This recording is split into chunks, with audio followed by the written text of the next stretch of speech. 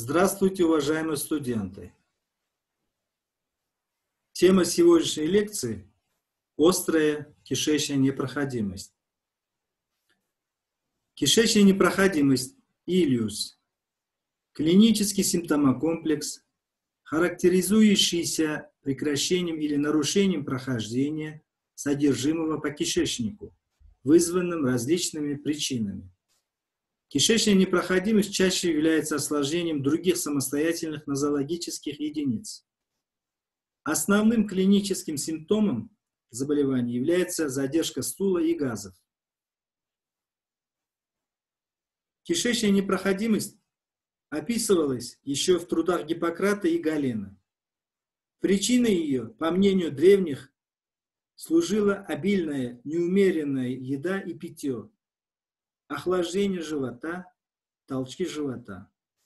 В целом до XVIII века имел место описательный период с малоэффективным консервативным лечением заболевания, в ходе которого назначались противосудорожные средства, приема ртути, свечи, клизмы, вдувание воздуха, кровопускание. Следует отметить, что вдувание воздуха описанное сотни лет назад, сейчас активно применяется в лечении инвагинации у детей. В конце XVI века Риолан впервые описывал инвагинацию кишечника. В 1654 году анатом Бартилин во время вскрытия обнаружил жечекаменную болезнь, кишечную непроходимость. Позже Бовере описал ее пилородуоденальную форму. Здесь хочется напомнить, что единственно возможным путем попадания в просвет кишечника крупного желчного конкремента является формирование холециста дуоденального свища. В 1797 году Хантер описал спаечный процесс в животе после огнестрельного ранения конце XIX века Эдвард Георг фон Вайл описал симптомы непроходимости, ныне, как известно, синдром Валя, в труде «Этиология и лечение непроходимости». Первый рентгенский снимок при кишечной непроходимости был описан Беклером в 1906 году, а в 1919 году Клойбер описал патогномоничный рентгенологический признак заболевания, горизонтальные уровни жидкости и скопления над ними газа, чаши Клойбера. Максимович Амбодик в своих трудах еще в 1781 году описывал Илиус. В 1838 году Добровольский опубликовал монографию о болезни именуемый Ильюсом. Вайл выделил обтурационную и странгуляционную формы кишечной непроходимости. Спаскукотский предложил токсическую теорию патогенеза, а Вишневский и Маслов предложили лечебно-диагностический прием при этом заболевании. Острая кишечная непроходимость среди острых хирургических заболеваний по частоте занимает четвертое место, составляя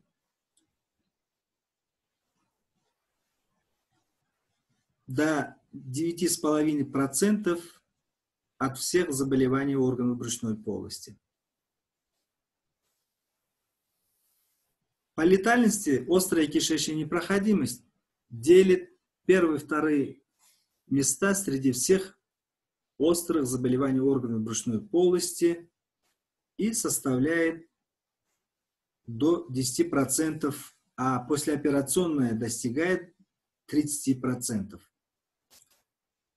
За последние годы количество пациентов с отдельными видами острой кишечной проходимости уменьшилось в 2-3 раза.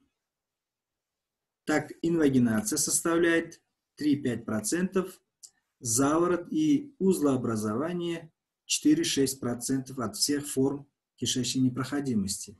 неопухолевого генеза.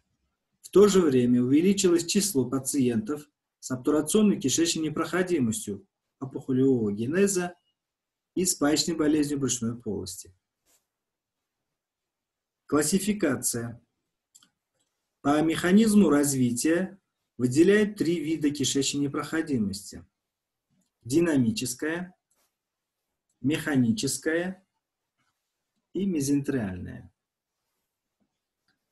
В свою очередь, динамическая кишечная непроходимость делится на спастическую и паралитическую кишечную непроходимость, а механическая делится на обтурационную, странгуляционную и смешанную кишечную непроходимость. По происхождению выделяет врожденную и приобретенную непроходимость. По клиническому течению непроходимость делят на острую и хроническую, по степени на полную и неполную, по уровню на тонкокишечную высокую и толстокишечную низкую. В развитии кишечной непроходимости играют роль многие факторы. Их обычно разделяют на предрасполагающие и производящие. Предрасполагающие факторы – это врожденные аномалии развития, дефекты и слабые места диафрагмы, передней и задней брюшной стенки, доли хасигма, неполный поворот кишечника, дополнительные складки брюшины, карманы брюшной полости, сосудистые мальформации. Следующее. Приобретенные факторы. Спайки, рубцовые деформации, инородные тела, последствия воспалительных заболеваний и так далее. Производящие факторы – это резкое увеличение двигательной активности кишечника вследствие повышенной пищевой нагрузки, особенно после голодания, медикаментозной стимуляции, повышение внутрибрюшного давления при тяжелой физической нагрузке, развитие энтероколита. Таким образом, даже наличие механического субстрата в брюшной полости может определенное время не вызывать клинических признаков нарушения пассажа по кишечнику. Поэтому в ряде случаев при отсутствии признаков перитонита или странгуляции консервативными мероприятиями можно успешно разрешить явление кишечной непроходимости. Наиболее часто это происходит при спаечной болезни брюшной полости. Однако всегда надо помнить, что механическую причину нарушения пассажа можно устранить только хирургическим путем. В зависимости от ведущего патоло патофизиологического звена авторами предложено более 20 теорий патогенеза острой кишечной проходимости, основными из которых являются интоксикационная, биохимическая, гемодинамическая, нервно-рефлекторная. Объемные и гемодинамические расстройства обусловлены уменьшением артериального притока и ухудшением венозного оттока в брюшечных или интрамуральных сосудах.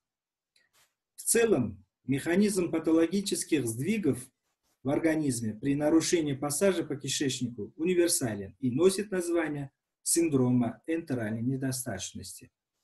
Для всех форм кишечной проходимости характерна большая потеря жидкости.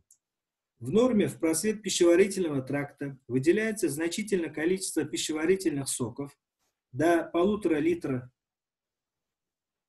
э, слюны, 2 литра желудочного сока, до 2,5 литра панкреатического сока, 3 литра кишечного сока, до полутора литров желчи. Почти весь этот объем реабсорбируется. Развитие кишечной непроходимости быстро и резко нарушает процессы секреции и абсорбции. С момента прекращения пассажа содержимого первичного повреждения стенки от перерастяжения или нарушения магистрального кровотока происходит выброс тканевых медиаторов воспаления, кининов, гистамина, что приводит к резкому повышению проницаемости сосудистой стенки, стазу микроциркуляции и прогрессированию ишемии кишечной стенки.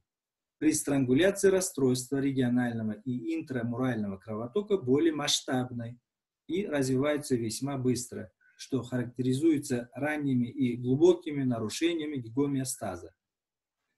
За счет секвестрации жидкости происходит отек кишечной стенки, нарушение ее барьерной функции, а затем лавинообразное пропотевание жидкого компонента крови уже в просвет кишки. Сравнительно быстро формируется и выпад в брюшной полости. Циррозный при обтурации, геморрагический при странгуляции.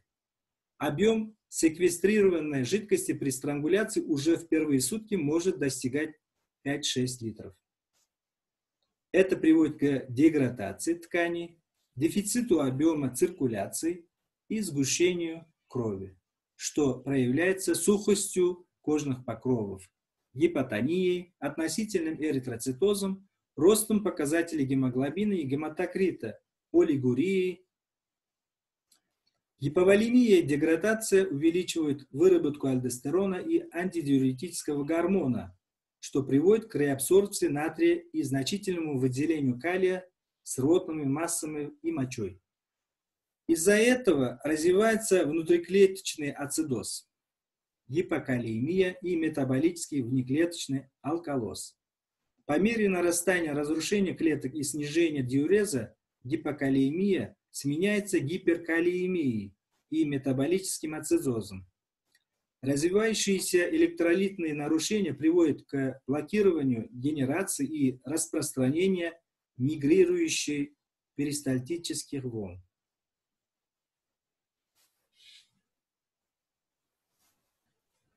что вызывает париетическое расширение петель кишечника.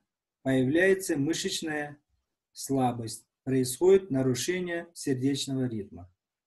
Перерастяжение кишки сопровождается болями в животе, усиливающимся при распространении перистальтических, перистальтической волны на начальных стадиях заболевания, рефлекторной рвотой, иногда криком на высоте боли, илиусный крик.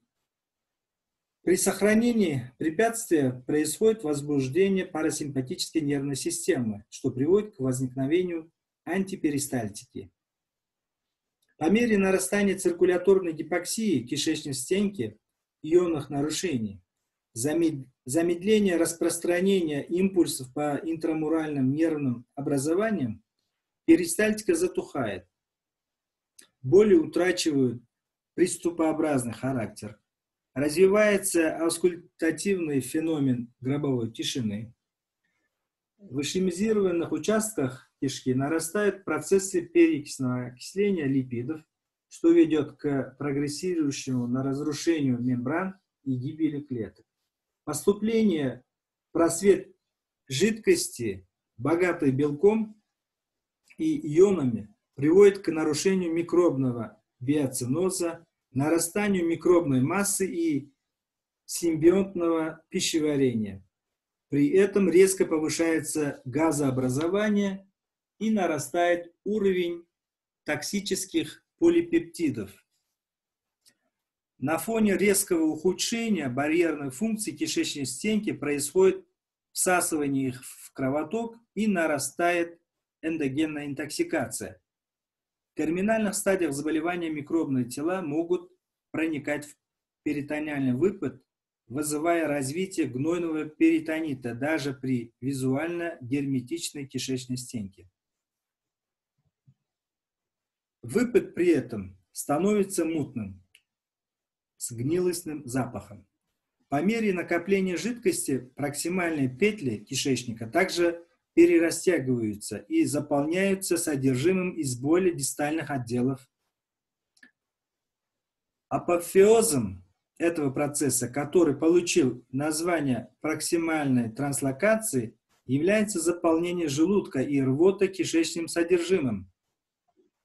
Таким образом, накопление кишечного содержимого, перерастяжение и повреждение кишечной стенки проксимальных участков кишки нарастание циркуляторных ионных нарушений замыкает порочный круг кишечной непроходимости. Прогрессирование эндотоксикоза ведет к развитию синдрома системного воспалительного ответа и полиорганной недостаточности.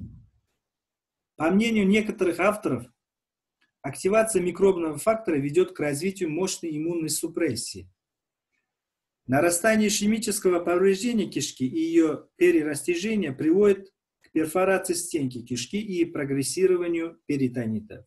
В случае странгуляции перфорация может произойти еще, уже впервые 6-8 часов. При обтурации значительно позже, к 3-4 суткам.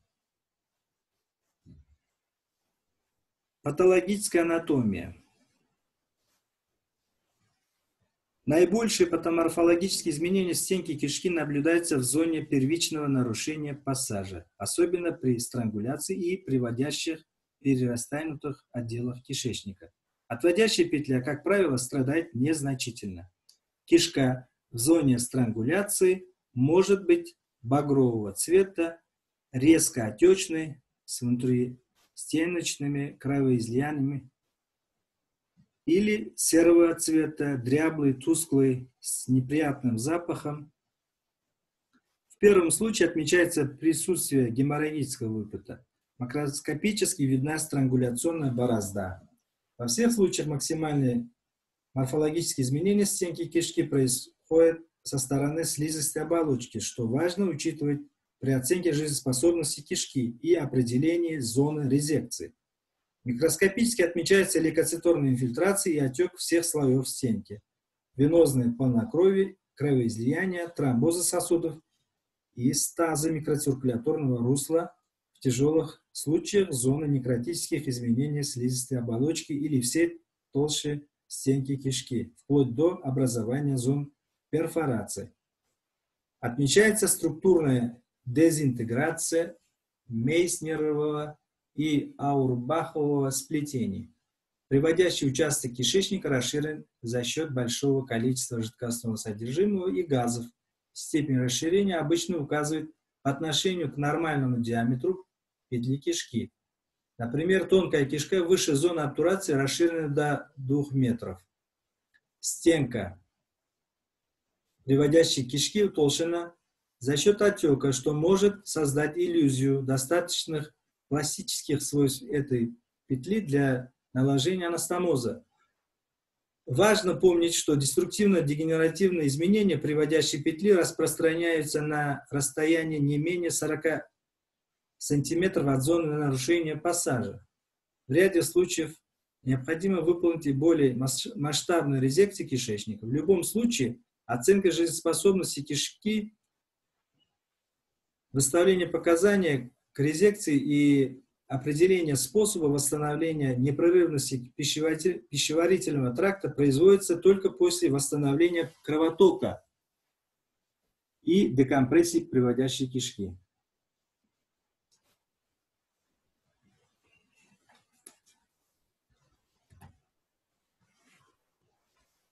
В зависимости от причины нарушения пассажа и стадии патологического процесса клиническая картина кишечной непроходимости может значительно различаться. При сборе анамнеза необходимо уточнить информацию о перенесенных оперативных вмешательствах на брюшной полости, травмах живота, пухолевых и воспалительных заболеваниях органов брюшной полости. Постоянным и ранним признаком кишечной непроходимости является боль в животе, она может возникать в любое время суток без, пред... без предвестников, внезапно или постепенно. Иногда боли в животе возникают вскоре после приема обильной пищи или физической нагрузки. В случае обтурации кишки опухолью обычно удается выявить предшествующие признаки нарушения кишечного пассажа. Периодические вздутия живота, запоры, чередующиеся поносами, Наличие слизи и крови в кале, синдром малых признаков, боли носит приступообразный, схваткообразный, нелокализованный характер. Лишь в самом начале заболевания они могут локализоваться в зоне препятствия пассажу. Распространение перистальтических волн вызывает приступы боли, которые повторяются через 10-15 минут. При странгуляции боль выраженная, постоянная, с периодическим усилением до непереносимой илюсный крик. Прогрессирование ишемических изменений в стенке кишки приводит к затуханию перистальтики, боль уменьшается и начинает носить постоянно ну, и начинает носить постоянный характер вместе, вместе с тем нарастает явление интоксикации. При некрозе ущемленной кишки боли могут практически исчезнуть.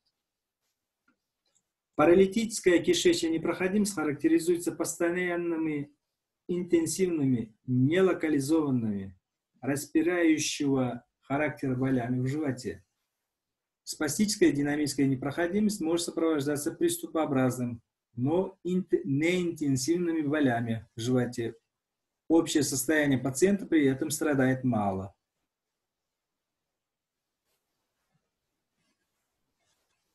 Диспептический синдром. Задержка стула и газов – патогномоничный признак кишечной непроходимости. Однако при высоком уровне нарушения пассажа в начальной стадии заболевания, а также в результате лечебных манипуляций может произойти рефлекторное поражение дистальных отделов кишечника, что создает ложное представление об эффективности консервативного лечения. При инвагинации из заднего прохода может выделяться слизь, окрашенная кровью. Рвота развивается в 50-60% случаях непроходимости, обычно сопровождается тошнотой. Рвота вначале носит рефлекторный характер, развивается на высоте болей. По мере нарастания проксимальной транслокации и интоксикации рвота становится более обильной и приобретает застойный характер. Рвота кишечным содержимым. Чем выше препятствие в пищеварительном тракте, тем более выражена рвота и тем раньше она возникает. Потеря с, э, с рвотой значительного количества жидкости ионов быстро приводит к выраженным водно-электролитным изменениям в организме. Вздутие живота может быть равномерным и симметричным или асимметричным. При высоких формах кишечной непроходимости вздутие живота может отсутствовать. На ранних стадиях может отмечаться бурная перистальтика, иногда видимая на глаз. На поздних стадиях перистальтика полностью затухает. Жажда, сухость во рту появляются и нарастают по мере прогрессирования секвестрации жидкости. Воспалительный и перитониальный синдром – при кишечной непроходимости данные синдромы в целом не имеют существенных особенностей. Однако необходимо указать, что при появлении симптомов раздражения брюшины при кишечной непроходимости показано хирургическое вмешательство. Симптомы кишечной непроходимости. При физикальном обследовании пациента с кишечной непроходимостью можно выявить целый ряд симптомов. Симптом Валя – не перемещающееся, асимметричное, относительно устойчивое вздутие живота, определяемое на ощупь, заметное на глаз. Синдром Валя дополняется другими проявлениями и включает заметную на глаз перистальтику. Асимметрию живота, пальпируемую опухолевую опухолевидное образование, тимпанит над этим образованием. Симптом Матье Склярова. При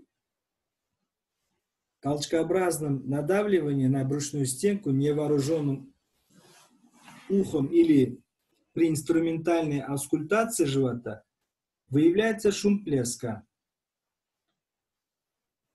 Следует отметить, что хоть в норме в кишечнике и присутствует жидкое содержимое и газ, однако шум плеска при этом не вызывается, так как газ распределен в жидком содержимом небольшими пузырьками, и пропульсивные перистальтические волны не позволяют сформировать большое скопление газа дистальных отделах толстой кишки газ может скапливаться, но содержимое кишки уже достаточно плотное. Симптом кивуля при одновременной перкуссии над растянутыми петлями кишечника и аскультации появляется металлический звук. Симптом ЦГ Мантифеля. Прямую кишку невозможно вести более 500 мл жидкости. Симптом Бейля. Сердечный тон и дыхательные шумы выслушиваются над брюшной стенкой при полном отсутствии перистальтики. Симптом Спаскукотского – шум падающей капли. Спаскукотский предложил, э, что звук падающей капли при отсутствии других шумов, которые в норме должны возникать во время работы кишечника, указывает на непроходимость кишечника. Симптом Мандора – пальпаторно определяемая ригидность брюшной стенки. Симптом Обуховской больницы. Греков при исследовании перектум выявил баллонообразное вздутие пустой ампулы прямой кишки, зияющий анус. Симптом Шимана Данса. Западение правой подвздошной области при завороте или инвагинации слепой кишки. Симптом бабука. После пальпации живота и повторной сифонной клизмы вода имеет цвет мясных помоев. Стоп-симптом. При изучении пассажа бария снимки мало отличаются друг от друга. Расположены, расположение чаши э, в целом не меняется. Появляются новые. Диагностика. Согласно утвержденным Протоколом оказания помощи при острой кишечной проходимости диагностические мероприятия разделяются на обязательные и дополнительные. К обязательным диагностическим действиям относится клиническое обследование, анамнез, осмотр, пальпация, перкуссия, аускультация живота, определение частоты пульса, измерение артериального давления, ректальное обследование. Второе. Общий анализ крови общий анализ мочи, определение уровня глюкозы крови. Третье – электрокардиограмма. Четвертое – обзорная рентгенография или рентгеноскопия грудной клетки и брюшной полости в вертикальном положении больного или латеропозиции. Пятое – биохимические исследования крови.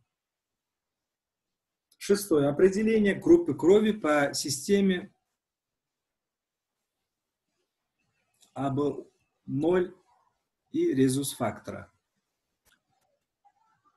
Седьмое. Пассаж бария или водорастворимого контраста по кишечнику. Восьмое. Колона или иригоскопия при подозрении на толстую кишечную непроходимость.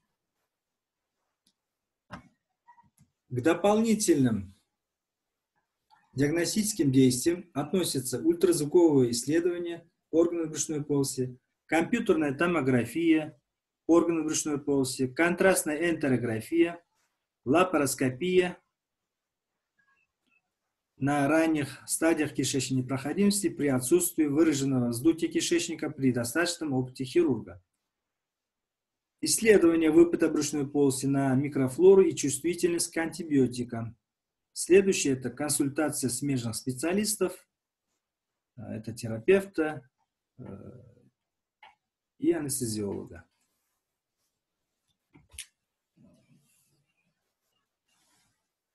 Рентгенологическая диагностика кишечной проходимости, с одной стороны, является одновременно доступной и достаточно информативной, с другой Обзорная рентгенография органов брюшной полости позволяет установить лишь факт наличия непроходимости. Более информативным, но менее доступными являются зондовая энтерография, иригоскопия, рентгеновская компьютерная томография. Ранним рентгеновским признаком кишечной проходимости является поперечная исчерченность растянутых пневматизированных петель тонкой кишки, симптом Кейси или симптом рыбьего скелета. Симптом Кейси.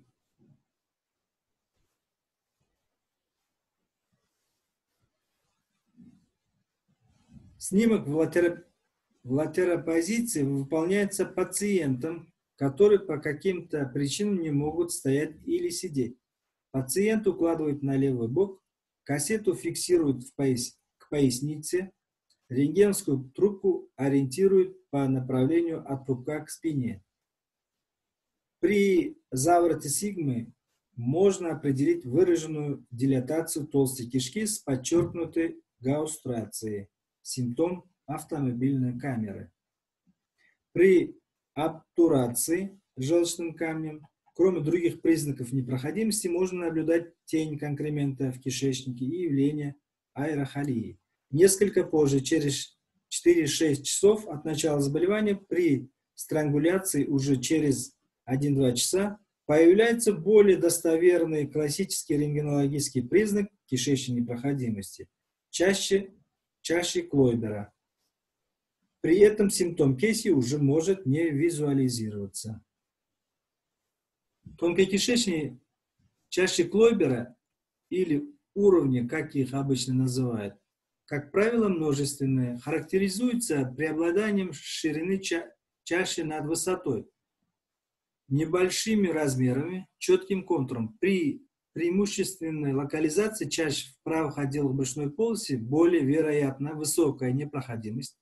При локализации препятствия воздушной кишки чаще определяется уже по всей брюшной полости. Количество их увеличивается, Толстокишечные уровни отличаются преобладанием высоты над шириной чаш меньше, контур границы раздела средь нечеткие за счет более густого и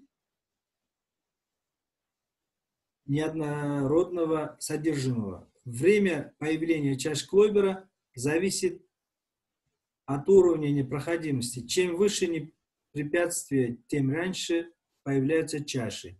При тонкокишечной непроходимости обычно наблюдается большое количество горизонтальных уровней с изменением их расположения во, время из-за, во времени из-за перемещения жидкости из одной петли в другую. Достаточно информативным, но редко применяемым является метод зондовой интерографии. Стандартную взвесь сернокислого бария медленно вводят непосредственно в просвет двенадцатиперстной или тощие кишки через удлиненный дуоденальный зонд под контролем рентгеноскопии в горизонтальном положении больного. Обычно контрастная масса заполняет всю тонкую кишку в течение 10-12 минут. Затем начинает заполняться последовательно слепая, восходящая и другие отделы толстой кишки. При этом уже в процессе постановки зонда в начальные отделы толстой кишки имеется возможность для качественной декомпрессии проксимальных отделов пищеварительного тракта. Создаются условия для более эффективного консервативного лечения с одной стороны и быстрое продвижение контраста с другой. Данную методику рекомендуется применять при частичной кишечной проходимости. В случае отчетливого эффекта лечебно-диагностического приема или при неясной клинической картине кишечной непроходимости, а также при отсутствии признаков странгуляции,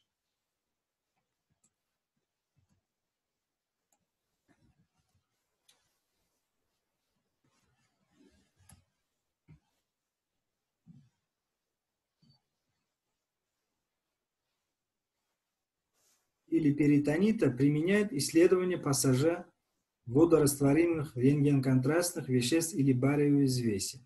В случаях, если в желудке определяется жидкость, ее предварительно удаляют через зон. Задержка контрастного вещества в желудке более э, а, 3-5 часов косвенно указывает на кишечную непроходимость и объясняется рефлекторным спазмом привратника и насперстной кишки, Задержка бария в тонкой кишке более 4 часов говорит о наличии механической непроходимости. При частичной кишечной непроходимости наблюдение должно проводиться до полного перехода контрастного вещества из тонкой кишки в толстую. При этом обычно наблюдается остановка контрастной массы над местом препятствия. Образуется так называемое барьевое депо. Всегда следует помнить, что наличие в кишечнике контрастного вещества резко снижает возможность применения более информативных методов исследования, в особенности компьютерной томографии. При подозрении на толстый кишечник непроходимость выполняется экстренная иригоскопия, которая позволяет определить уровень препятствия и полноту обстру... обтурации. Наиболее достоверно уровень и характер толстокишечной непроходимости можно определить при помощи колоноскопии. Типичным симптомом заворота толстой кишки является водоворот, спиральное сужение дистального сегмента кишки. Однако подготовка пациентов к таким диагностическим манипуляциям сопряжена с трудностями очистки дистальной части кишечника. Очистительные клизмы часто не обеспечивают достаточное качество подготовки а применения лекарственных препаратов макро, макрогола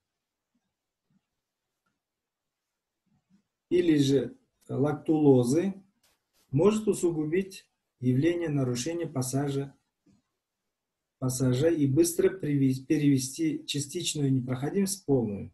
Поэтому, по возможности, при явлениях толстокишечной непроходимости предпочтение следует отдать ранней компьютерной томографии с контрастным усилением, которое позволяет установить не только уровень и причину непроходимости, но и выявить внекишечные проявления заболевания. Особенно актуальным это является при опухолевом генезе патологии. Иногда для разрешения диагностических трудностей при кишечной непроходимости применяется лапароскопия. Обязательным условием для применения этого метода диагностики является отсутствие выраженного расширения петель кишечника и достаточный опыт хирурга.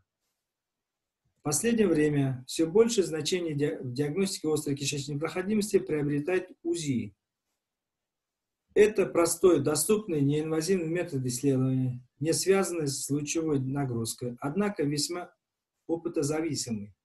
Точность ультразвуковой диагностики очень высока, до 94%, и на ранней стадии она может быть более чувствительна, чем рентгенография. Ранее считалось, что провести УЗИ органов, содержащих газ, нельзя, поскольку полностью отражает ультразвуковой ультразвуковые волны. Действительно, неизменная стенка желудочно-кишечного тракта при трансабдоминальном УЗИ обычно отчетливо не визуализируется. Однако при утолщении стенки кишки вследствие развития патологического процесса визуализации улучшается. Помимо выявления при нативном исследовании факта наличия непроходимости и ее причины, Применение дуплексного сканирования позволяет определить наличие или отсутствие кровотока в стенке кишки и мезентериальных сосудах.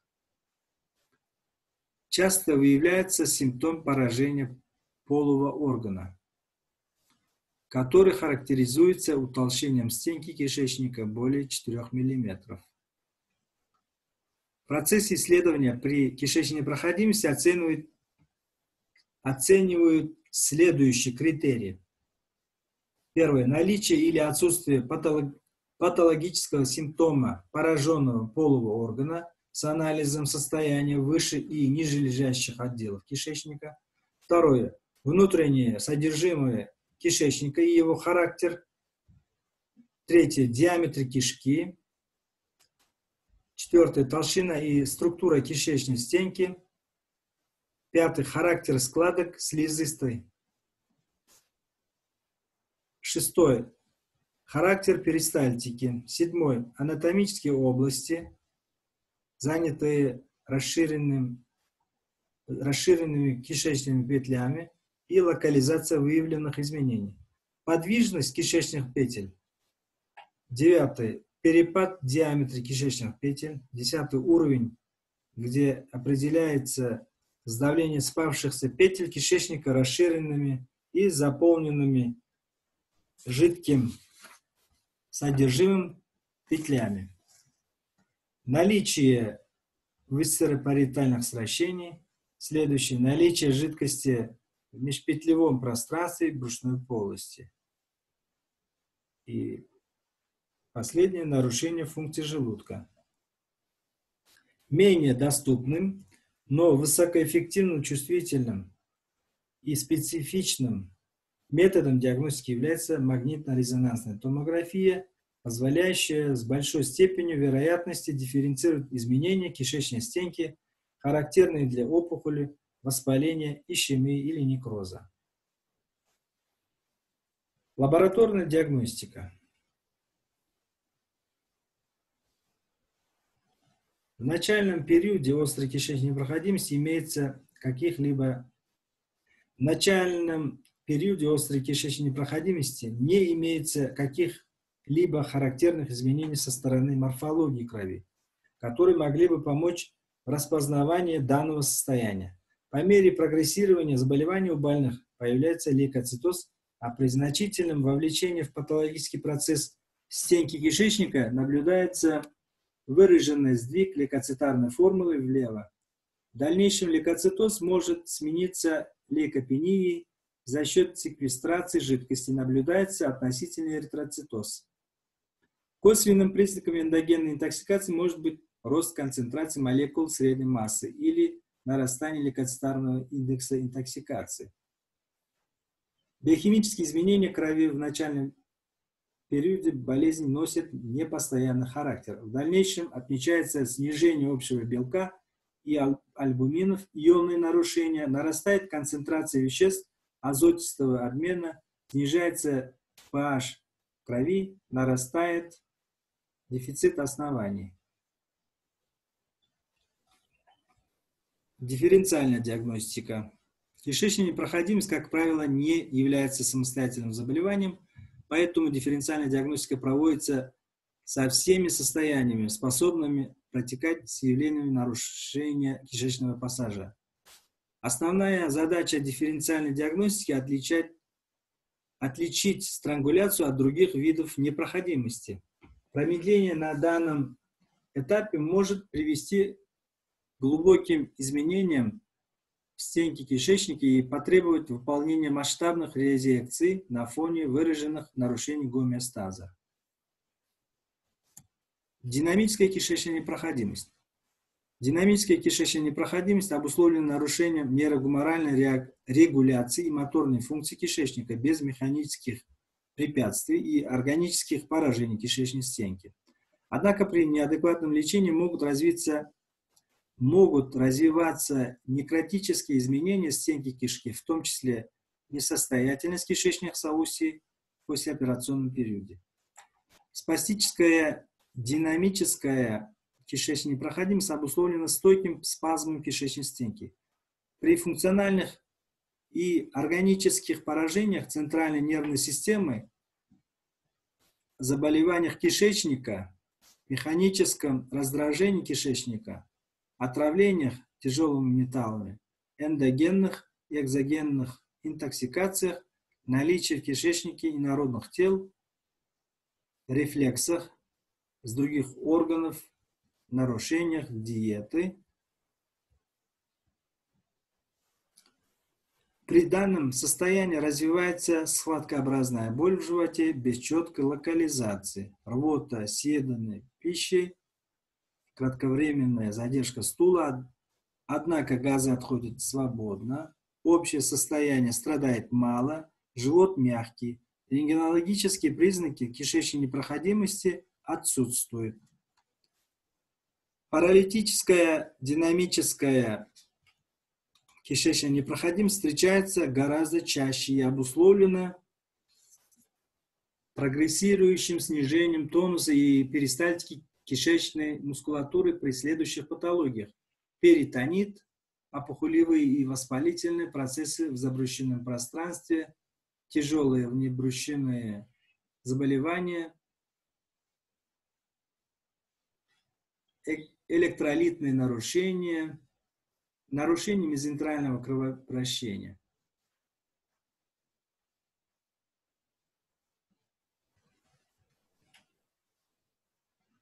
При паралитической непроходимости боль в животе распирающего характера без четкой локализации. Отмечается равномерное вздутие живота, рвота, съеденной пищей, затем кишечным содержимым, задержка стула и газов, перистальтика вялая или отсутствует, положительный симптом латейсина, сухость во рту, гипотония, общее состояние страдает в зависимости от причины острой кишечной непроходимости. На начальных этапах за счет превалирования в кишечнике газа или жидкости типичные чаще Клойбера могут отсутствовать. Обтурационная кишечная непроходимость. Обтурационная кишечная непроходимость характеризуется нарушением пассажа вследствие сужения или полного перекрытия просвета, просвета кишки без давления, без давления брыжейки. Выделяет интраорганные экстраорганные причины.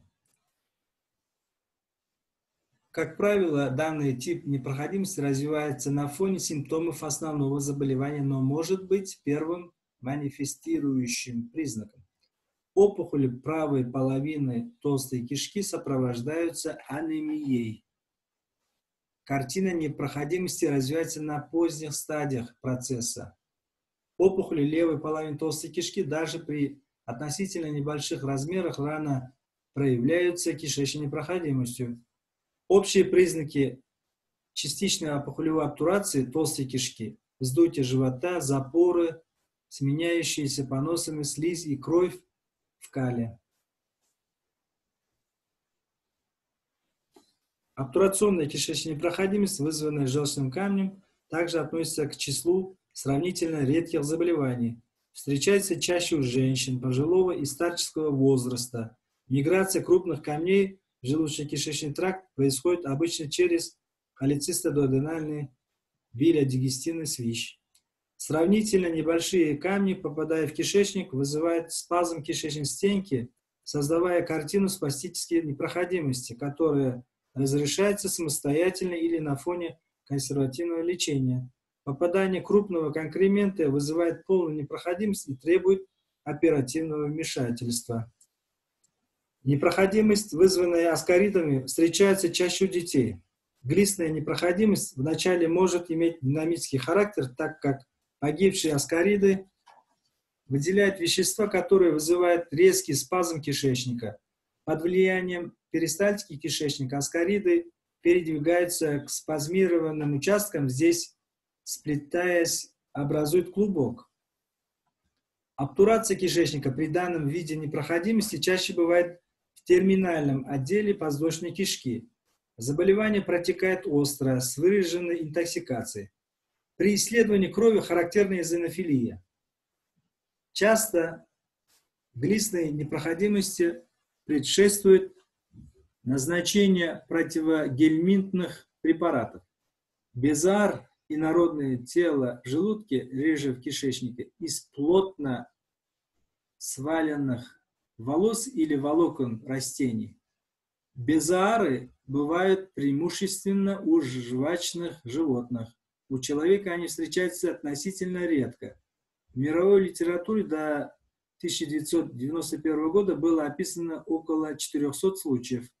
В зависимости от состава выделяют фитобезуар, из волокон растения, трихобезуар из волос ногтей, гематобезуар из сгустков крови, шеллак-безуары, природная смола, экскретируемая самками насекомых, червецов, семейства керииды, паразитирующими на некоторых тропических и субтропических деревьях в Индии и странах Юго-Восточной Азии. Используется в качестве глазури для покрытия таблеток, конфет и обозначается при этом в составе как пищевая добавка Е904. Безуары бывают различной консистенции, от мягкой до каменистой. Причиной образования его является снижение кислотообразующей и пептической активности желудочного сока, нарушение моторной и эвакуаторной функции желудка. Капростаз встречается преимущественно у лиц пожилого и старческого возраста, а также у лиц, страдающих атонии толстого кишечника, которая проявляется в основном в виде секреторных и двигательных расстройств. Принято считать запором задержку стула свыше 48-72 э, часов, сопровождающуюся чувством вздутия живота, регулярным неполным или затрудненным опорожнением кишечника.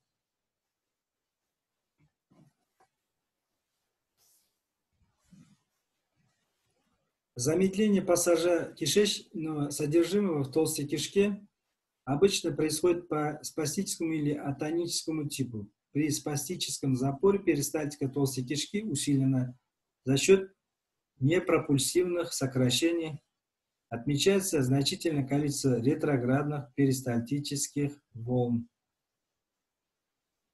Просвет кишки при этом сужается, выражена глубокая и частая гаустрация.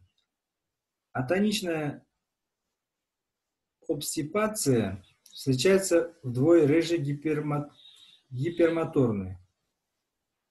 Тем не менее, именно этот вид нарушения моторики приводит к развитию копростаза у пожилых людей – Атонические нарушения наблюдаются при врожденных аномалиях развития толстой кишки, хронических атрофических колитах, частичной обтурации просвета кишки, при патологии эндокринной системы, беременности, токсических воздействиях на фоне применения некоторых лекарственных препаратов или нерационального питания. В случае атонии просвет толстой кишки перерастянут. Гаустрация снижена или отсутствует перистальтика не определяется. Основными симптомами при этом виде непроходимости является нелокализованная интенсивная боль в животе, задержка стула и газов на несколько дней и вздутие живота. Общее состояние больных страдает мало. При пальцевом исследовании прямой кишки определяется скопление твердых каловых масс. Странгуляционная кишечная непроходимость. Этот вид непроходимости развивается при одновременном возникновении механического препятствия продвижению содержимого и нарушению кровоснабжения и иннервации кишки за счет сдавления брыжейки. Странгуляционная кишечная непроходимость протекает тяжело и быстро приводит к некрозу кишки. При этом резко выражены рефлекторные и системные изменения. Боли в животе выраженные Постоянные, рыжие, схваткообразные, больные беспокойные, мечутся, подтягивают ногу к животу. Нередко на высоте приступа боли, пациент, боли пациенты кричат, илистный крик. В начале заболевания имеет место выраженная рефлекторная рвота, не приносящая облегчения. Через 6-8 часов все явления несколько ослабевают, Затем развивается перфорация некротизированной стенки кишки и перитонит.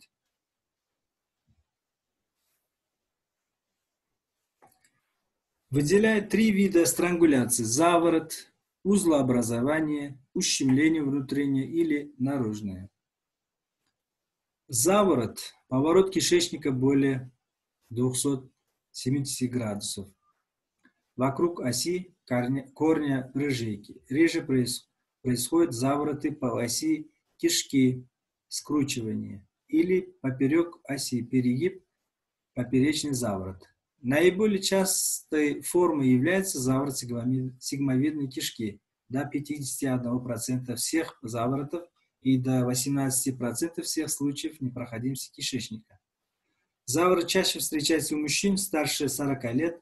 Как правило, заболевание развивается на фоне долиха сигмы, на почве привычных запоров. Реже заворот развивается из-за рубцовых изменений в удлиненной рыжейке. В случае заворота в животе появляются схваткообразные боли различной интенсивности. Рвота развивается редко, носит рефлекторный характер. Однако стула нет, газы не отходят. Постепенно нарастает асимметричное вздутие живота. Положительный симптом ЦГ Монтефеля – при исследовании перректум определяется расширение пустой ампулы прямой кишки и изъяние ануса, симптом обуховской больницы. При иригоскопии контрастное вещество не проходит выше ампулы прямой кишки.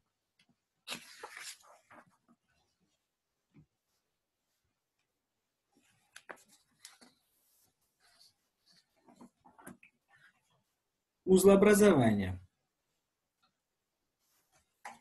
В настоящее время встречается редко всех случ... э, и вовлекает как минимум две петли кишки. Одна из них, сложенная в виде двустволки, формирует ось, вокруг которой закручивается другая петля. Узлообразование является одной из наиболее тяжелых форм странгуляционной кишечной непроходимости и дает очень высокий процент летальности, который достигает 40-50%, невзирая за, на проведение раннего оперативного вмешательства. Узлообразование возникает чаще ночью.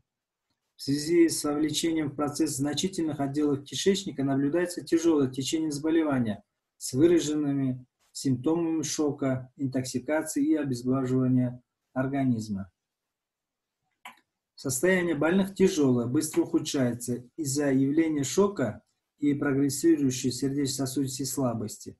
Усиленная перистальтика способствует затягиванию узла, лечение, деторсия, то есть раскручивание с ограничением подвижности или резекция неспособной кишки.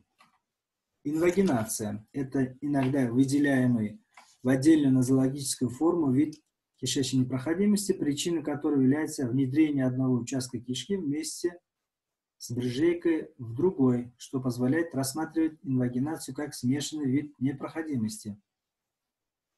Обтурационный компонент перекрытия просветия кишки отечной головкой инвагината. Странгуляционный компонент развивается по мере втягивания брыжейки кишки в инвагинат и ухудшения питания головки инвагината. Встречается в любом возрасте, но наиболее часто впервые 4 года. Обычно это связывает с началом бурной перистальтики при введении прикормов. Чаще вышележащий отрезок кишки внедряется в нижележащий, но в некоторых случаях внедрение может происходить и восходящим путем. Различают два вида инвагинации – тонко тонкокишечную и тонко-толстокишечную. Второй вид, когда участок тонкой кишки внедряется в толстую в илиоцикальном углу встречается чаще. Тонко-толстокишечная и тонко-тонкокишечная инвагинация, то есть при простой инвагинации образуется цилиндр, который увлекается и брыжейкой кишки.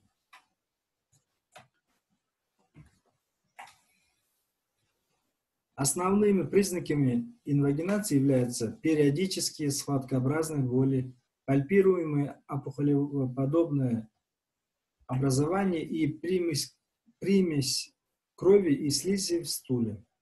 Часто бывают положительными симптомы Матье Склярова, бабука, синдром Валя, а при илецикальной инвагинации симптом Шимана-Данса – при пальцевом ректальном исследовании на пальце обнаруживается слизь и кровь, а иногда можно прощупать и головку инвагината. Спаечная кишечная проходимость занимает по частоте первое место и встречается в 50-60% случаев по отношению ко всем видам неопухолевой кишечной непроходимости. В последние годы эта форма непроходимости начало встречаться чаще в связи с увеличением количества операций на органах брюшной полости и успешным лечением больных перитонитом различной этиологии.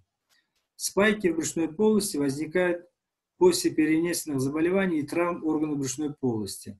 Они вызывают образование конгломератов с хроническими трудностями при с хроническими затруднениями при прохождении содержимого или могут явиться причины странгуляции подвижных сегментов кишечника. Таким образом, этот вид относится к смешанной форме непроходимости.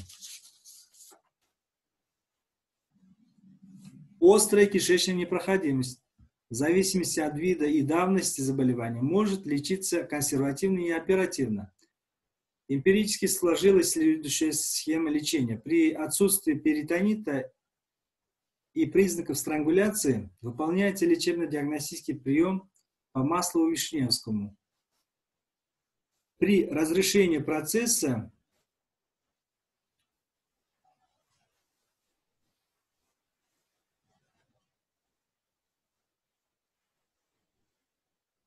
в течение часа-полутора часов обследование проводится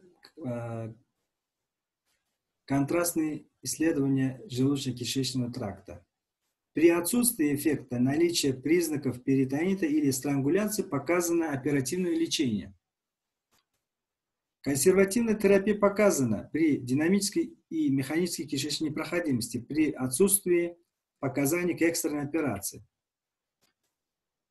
И включает восполнение дефицита жидкости, коррекцию реологических свойств крови, энергодефицита, базисные инфузионные препараты,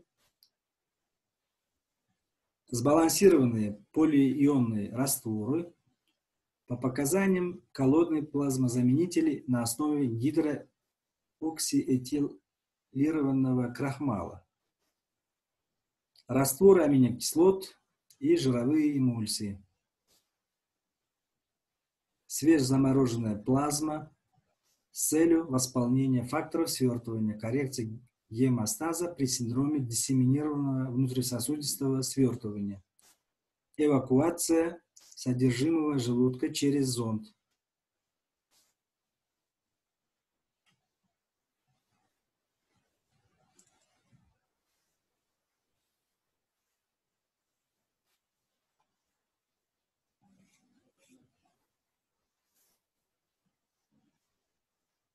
Новокаиновые паранефральные блокады при отсутствии противопоказаний, введение спазмолитических лекарственных средств или проведение продленной эпидуральной анестезии,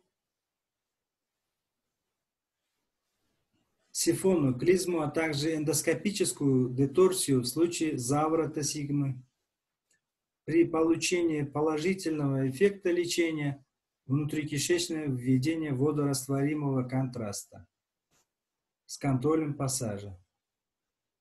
Эффективность консервативного лечения оценивается по динамике клинических данных, лабораторных показателей, результатам исследования пассажа контраста по кишечнику. При его неэффективности принимается решение о срочном хирургическом вмешательстве, а проведенные консервативные мероприятия служат элементами предоперационной подготовки. Таким образом, при динамической кишечной непроходимости показано консервативное лечение. В случае отсутствия положительного эффекта и прогрессирующих явлениях непроходимости показано хирургическое лечение, направленное на декомпрессию кишечника и выявление интраабдоминальных причин пареза. При механической кишечной непроходимости требуется дифференцированный подход – Первое. Экстренные операции выполняются впервые 2-3 часа э, поступления в стационар при наличии э, явления перитонита, выраженного болевого синдрома, при убедительной клинической картине и инструментально подтвержденной кишечной непроходимости выраженной декомпенсированной кишечной непроходимости с тяжелыми водно-электролитными нарушениями, зондовыми потерями более 1 литра, значительным перерастяжением петель кишечника и большими сроками от начала заболевания.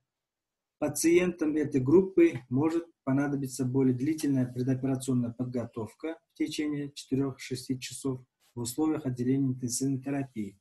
Второе. Срочные операции выполняются при нарастании клинических признаков острой кишечной непроходимости, отсутствии положительного эффекта от комплекса консервативных мероприятий, а также при отсутствии продвижения контраста по кишечнику. Длительность динамического наблюдения в таких случаях не должна превышать 8 э, часов э, от поступления в стационар. Третье. Плановое оперативное вмешательство при получении удовлетворительного эффекта от консервативной терапии выполняется в общехирургическом или специализированном стационаре а, не позже, чем через одну неделю после подтверждения диагноза. Хирургическое лечение. Предоперационная подготовка зависит от типа и уровня непроходимости, выраженности водно-электролитных расстройств, интоксикации, органов дисфункции, характера и тяжести сопутствующих заболеваний. Профилактика тромбозов и тромбоэмболических осложнений. Премедикационная антибактериальная Премедикационная антибиотикопрофилактика проводится за 1-2 часа до операции. Обезболивание всегда общая комбинированная анестезия с миорелаксантами. Хирургический доступ, срединная лапаротомия.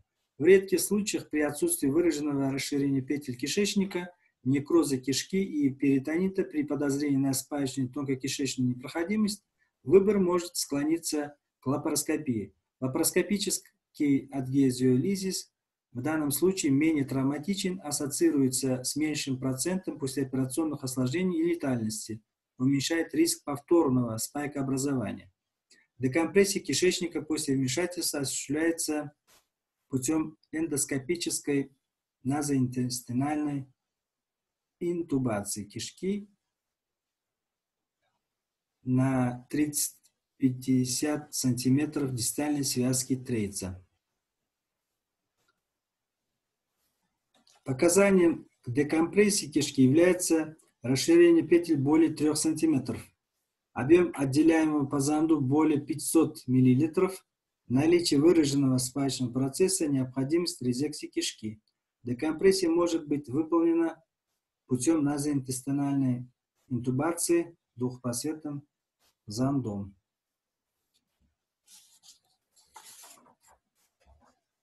реже выполняется трансанальная интубация толстой кишки. Завершает операцию формированием первичного анастомоза с учетом перепада диаметров чаще бок в бок. Если уровень анастомоза приходится на дистальный отдел воздушной кишки,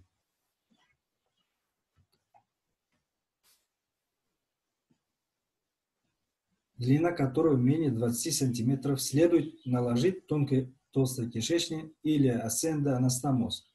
При резекции тол толстой кишки предпочтение следует отдать выведению колостомы. Наложение первичного анастомоза допустимо лишь при правосторонней гемиколэктомии.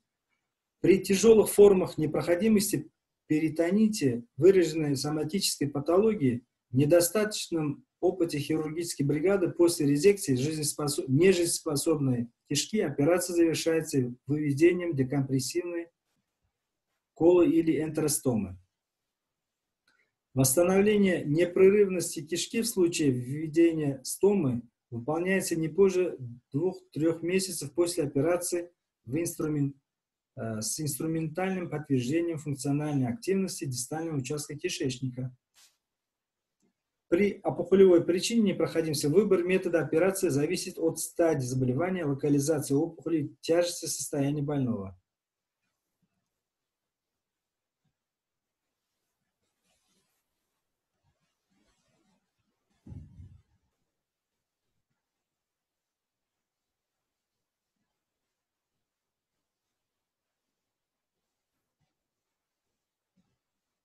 Безары можно попытаться фрагментировать и провести в слепую кишку. Однако при наличии желчного камня не рекомендуются попытки его раздавливания из-за высокой травматичности манипуляции.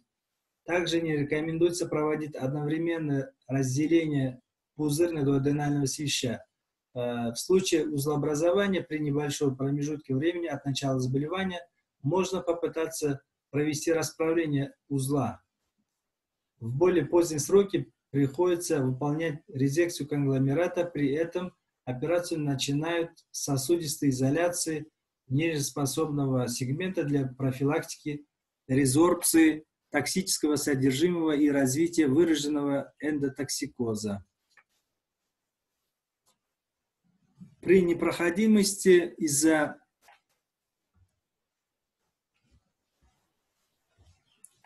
клубка аскарид следует попытаться без вскрытия просвета разделить гельминтов и переместить их в толстую кишку. В случае неудачи выполняют энтеротомию. При инвагинации показана дезинвагинация кишки путем выдавливания проксимальном направлении головки инвагината. Затем оценивают жизнеспособность кишки. При невозможности дезинвагинации или некрозе кишки проводят резекцию инвагината.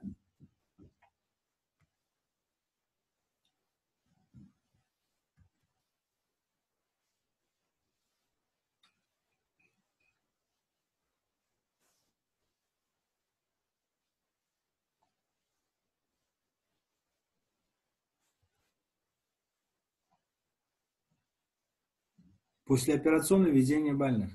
В послеоперационном периоде основное значение придется, придается коррекции водно-электролитного водно-электролитных нарушений солевыми растворами, 5 или 10% раствором глюкозы, полиионным растворами, коллоидными растворами на основе гидро, гидрокси этилкрахмала, желатина, эмпирически назначать антигипоксанты,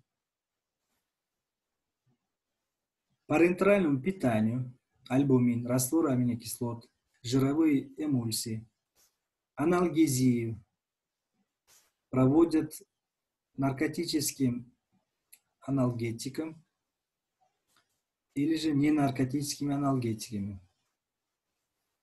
Антибактериальная терапия который проводится согласно эмпирическим схемам по получению, до получения результатов посева. Нормализация функций желудочно-кишечного тракта, медикаментозная стимуляция перистальтики и не, и немедикаментозные воздействия. Зондовому питанию первые 24-48 часов после операции при отсутствии сброса по желудочному или гастроинтестинальному зонду вводят раствор натрия хлора 0,9% с начальной скоростью 50 мл в час, что является естественной стимуляцией кишечника и способствует раннему восстановлению барьерной функции кишечной стенки при усвоении физраствора назначают препараты лечебного питания с постепенным увеличением скорости введения на 25 мл в час каждые последующие сутки. Целесообразно использовать дозаторы для интерального питания. По синдромной терапии коррекция общесоматической патологии. В случае стойкого пареза кишечника на фоне стимуляции в течение 12-24 часов следует ставить вопрос о выполнении релапартомии или релапроскопии. Положительной динамике послеоперационного периода судят по о положительной динамике послеоперационного периода судят по появлению перистальтики, снижению отделяемого по назоэнтеральному зонду, отхождению газов, уменьшению диаметра петель кишечника до 20 мм, разрешению отека стенки и уменьшению ее толщины до 3 мм, нормализации внутристеночного кровотока.